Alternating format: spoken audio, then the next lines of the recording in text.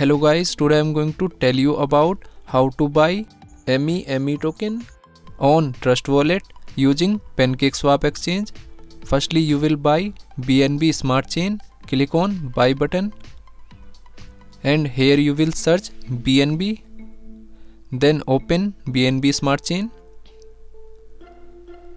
and here you can purchase minimum $50 BNB or you can receive BNB Smart Chain using contract address. Open BNB Smart Chain. Click on receive. Here you can receive BNB Smart Chain using contract address or QR code. After receive BNB Smart Chain, then you will click on D apps and go to PancakeSwap exchange. Click on PancakeSwap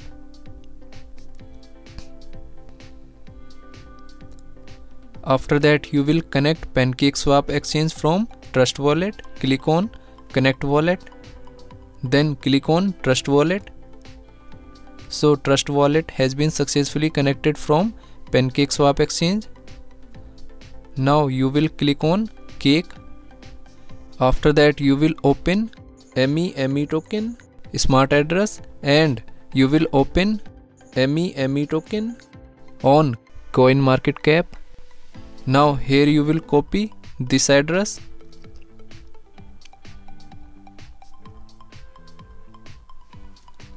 And paste here. Click on import. Click on I understand. And re-click on import. After that you will set slippage for effective purchasing. Click on this icon.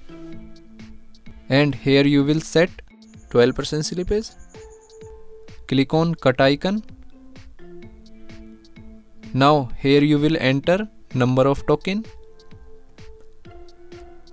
Then click on swap. Here you can check transaction detail. Click on confirm swap. So here you will approve this transaction. Now here you will click on add to wallet and click on ok after that go to trust wallet homepage.